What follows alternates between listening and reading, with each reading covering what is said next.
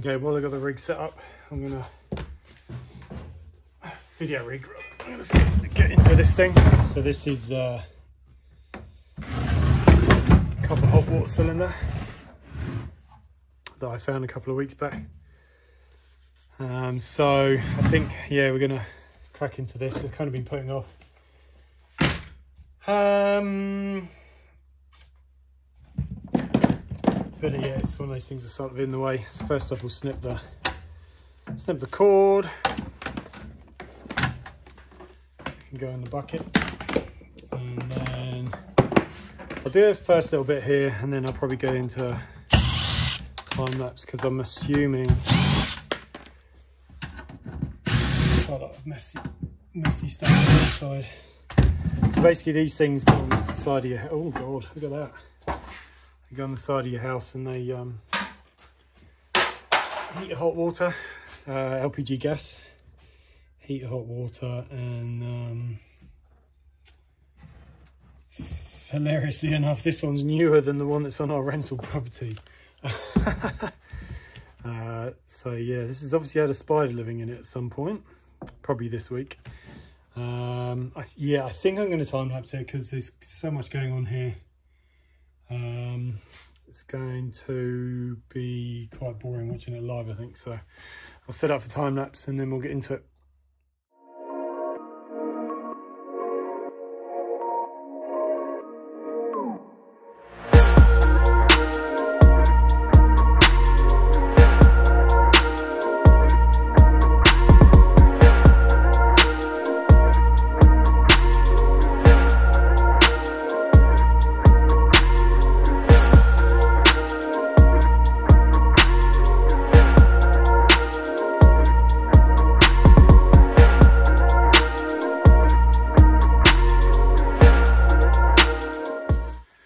Gang, we're at the point where I think some interesting stuff's going to start happening. We found the spider. His name's Colin. So we're going to let him go in a bit and in, back into nature. I'm not a fan of spiders, but I'd never kill one for no reason. He was just trying to find a home for his little ones. Um, so, yeah, this thing feels like it's about to come out.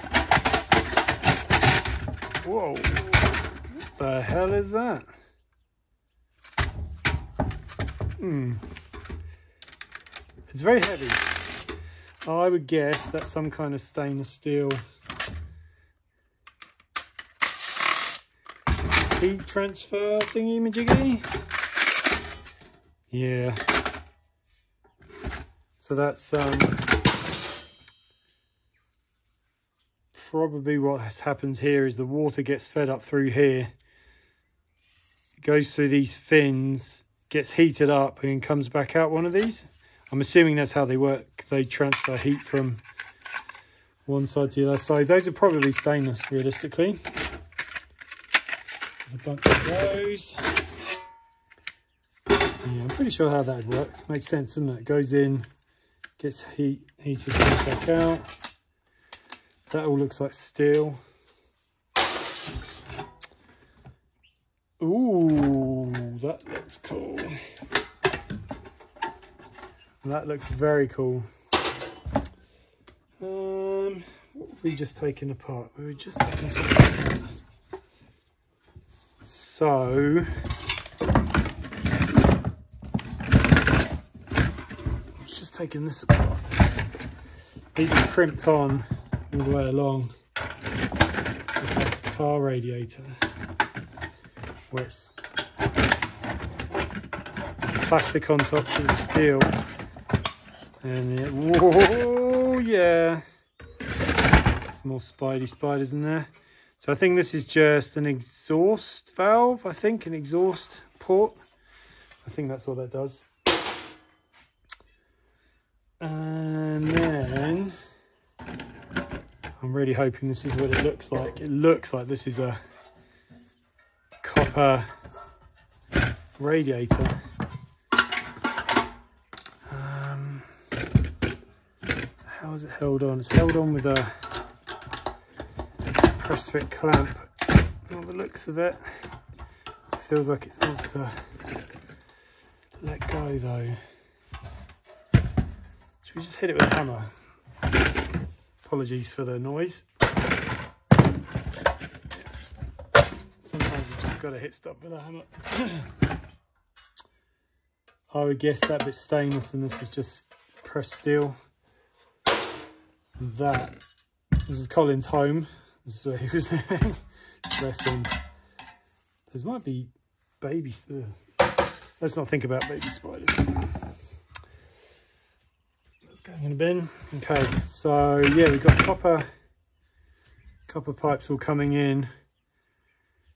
And I'm to just guess that this whole unit, this whole central part of the thing, I think maybe that isn't, maybe there's a rim, ring of welded on steel but I'm pretty sure I'll hit it with a angle grinder now.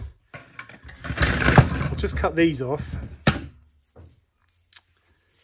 so I get better access to it.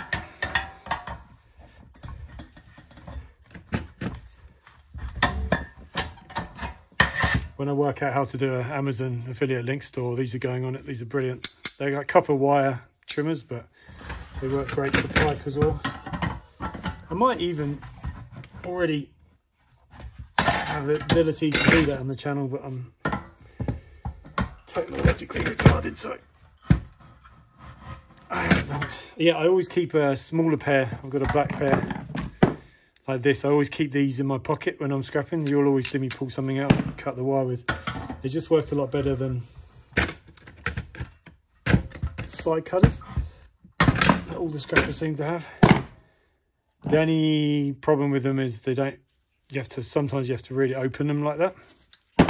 Yeah, this bigger pair does all kinds of air conditioning copper pipe. So yeah, that feels really heavy, which is always good in the scrap game. I'm pretty sure that is just a, yeah, it's got a press fit there. It's like a ring of some kind of steel and it's being brazed on or welded on. That's definitely copper though, that feels like copper That might be the biggest chunk of second-hand copper I've ever found. Okay, I'm going to hit it with a grinder really quick, just see where we are.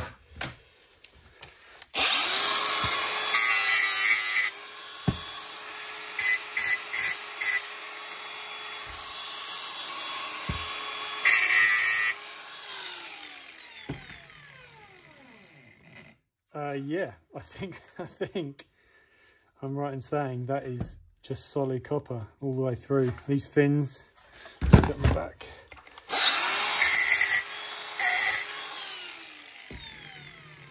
Yeah, everything you touch.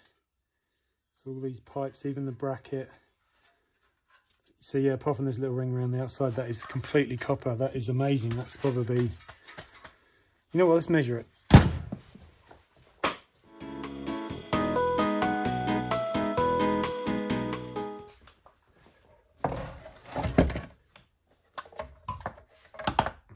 You see that? How's that 22 grams? Zero. How do you do zero? Yeah, to zero.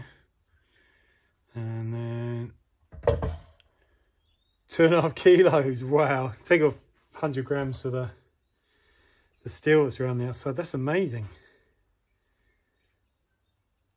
Wow, two and, a, two and a bit kilos. Sweet. Actually, I just thought it's probably going to be number two given what it is. But there's also this copper here, which is number two from that as well. So it's 2.8. So yeah, nearly three, three kilograms. That's brilliant. Should we do American? What's American? There you go. That's an American. Six, six, just over six pound. Is that right? Six pounds, ounces, pounds, ounces. Yeah, six pounds. So it's almost two for one, isn't it? Six pound, 3.4 ounces. There you go. Full on American. Good job. Um, so yeah, that was worth doing. I'll be looking for those in the future. Okay, so there you go. That's what's inside one of these gas boiler thingies. Um, that's all steel, pretty much. Uh, all the copper here. A whole world of screws. A spider. this is all cast aluminium. Uh, these are our little stainless steel thingies. You, I'm pretty sure they are. You can just tell they look like that finish, like a brushed finish, you know. A uh, little uh, circuit board there with some aluminium and copper and stuff. Loads of rubbish there. Um, brass. So the brass fittings on the bottom, uh, these are solid brass. There's a tiny little electric motor. And there's a bunch of these. I think these are solenoids. I think that's what they're called.